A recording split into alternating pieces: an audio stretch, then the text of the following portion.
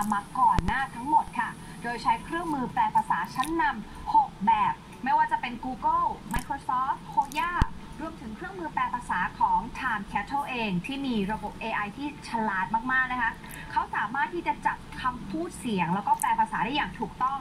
ที่สำคัญค่ะ ใช้เวลาในการแปลภาษาแค่ 0.5 มิลลิวินาที หรือเท่ากับ 0.001 วินาทีเท่านั้นเอง ถึงได้บอกว่านี่คือการแปลภาษาแบบเรียลไทม์นะคะ คราวนี้มาดูฟังก์ชันการใช้งานของหูฟังแปลภาษานี้กันนะคะ มี 3 โหมดด้วยกันค่ะ โหมดแรกก็คือ Simul Mode ค่ะ อันนี้ใช้สำหรับการสนทนาระหว่างบุคคลนะคะ โดยสามารถแชร์หูฟังข้างเดียวกับคู่สนทนา โดยหูฟังทั้งสองเนี่ยจะทำหน้าที่แปลภาษาให้แก่กัน โดยแปลทั้งเสียงที่พูดของเรา แล้วก็แปลเสียงที่เราได้ยินแบบ real-time ค่ะ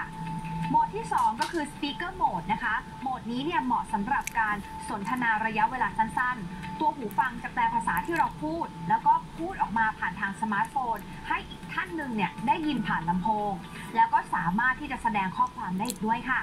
และ สุดท้ายก็คือ Touch Mode นะคะ โหมดนี้เนี่ยเหมาะกับการสนทนาแบบกลุ่ม ใช้งานง่ายค่ะ แค่เราแตะเบาๆที่หูฟัง เพื่อเปิดการใช้ไมค์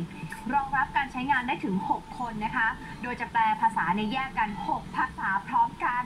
เพราะฉะนั้นฟังมาถึงตรงนี้แล้วนะ ใครโดนป้ายยาอยากได้หูฟังรุ่นนี้ เขาวางจำหน่ายอย่างเป็นทางการนะคะ ในเดือนเมษายนปีนี้แหละค่ะ ราคาโปรโมชั่นรีบไปจองไว้ก่อนได้นะคะ อยู่ที่ 2,970 บาท ส่วนเซ็ตใหญ่ที่มาพร้อมกับอุปกรณ์ครบชุดอยู่ที่ 7,440 บาทค่ะด้วยเทคโนโลยีและนวัตกรรมสมัยใหม่นะคะก็จะช่วยทำลายอุปสรรคด้านภาษาที่เราเรียกกันว่ากำแพงภาษานั่นเอง แล้วก็ช่วยย่อโลกนะคะ ให้เรานั้นได้เข้าใจกันมากยิ่งขึ้นค่ะ